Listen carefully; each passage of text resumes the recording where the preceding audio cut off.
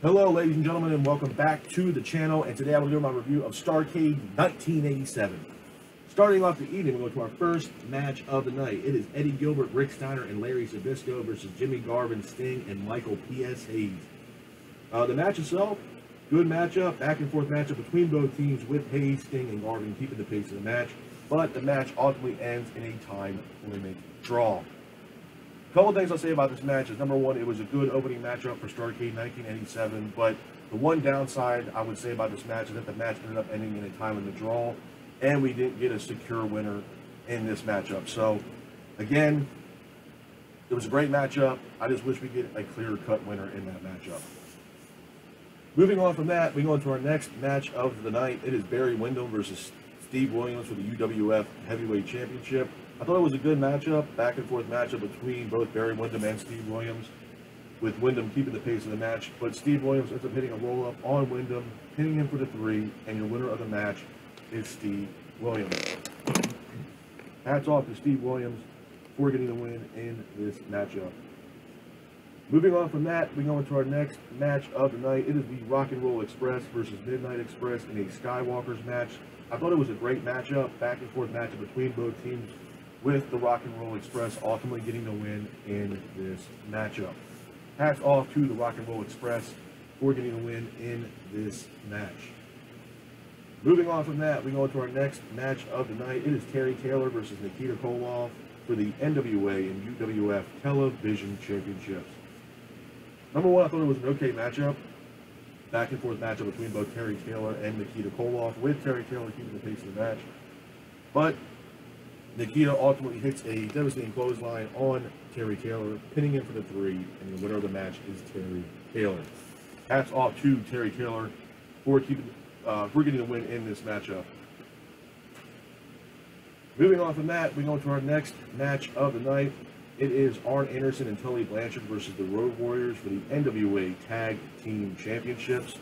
I thought this was a good matchup, back and forth matchup between both teams with Arn and Tully keeping the pace of the match, but Arn and Tully ultimately get the win in this match by disqualification A couple of things I'll say about this matchup is number one, the teams that were involved in this matchup. Both teams that were involved in this matchup are some of the best tag teams in all of professional wrestling. I mean, you had the Road Warriors with Hawk and Animal that have had a historic pro wrestling uh, career, man. I mean, you know, the first ever Skywalker's match, phenomenal matchup. Um, you know, even going back and watching some of the old uh, Road Warriors documentaries, man, the career that they've had uh, and the matches they've had. I mean, they've had a incredible career, hands down. I mean, Hawk and Animal will forever be synonymous with professional wrestling, just from the theme music alone, the ring gear, you know, you got the, the football pads with the spikes, the face paint, um, the mohawks. I mean, everybody that loved professional wrestling, everybody knew who the Road Warriors were all about. And they were a phenomenal tag team.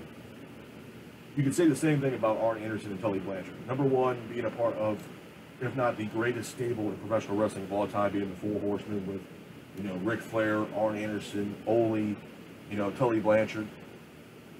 Phenomenal stable, number one. And then just the team of Arn and Tully. I mean, they were a perfect tag team from them just being Arn and Tully to them being the Brainbusters. I mean, those guys gelled in the ring perfectly together. They were a phenomenal tag team.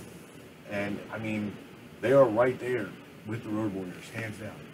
Two of the most, uh, two of the best teams in all of, of professional wrestling, as far as tag teams, in my honest opinion.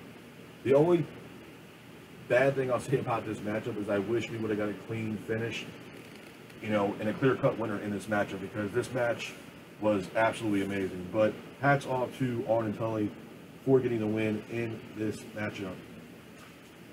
Moving on from that, we go into our next match of the night. It is Dusty Rhodes versus Lex Luger for the NWA United States Championship in a steel cage match. Uh, number one, I thought the match was a great matchup, back and forth matchup between both Dusty and Lex Luger, with Dusty keeping the pace of the match. But Dusty ends up hitting a devastating DDT on Lex Luger, pinning him for the three, and your winner of the match is the American Dream, Dusty Rhodes. Hats off to Dusty Rhodes for getting a win in this matchup. Moving on from that, we go into our next match of the night. It is Ric Flair versus Ronnie Garvin for the NWA World Heavyweight Championship in a steel cage matchup. Uh, number one, great matchup. Uh, back and forth between both Ric Flair and Ronnie Garvin, with Garvin keep, uh, keeping the pace of the match. But Flair ultimately gets the win. He retains the NWA World Heavyweight Championship. Hats off to Ric Flair for getting the win in this matchup.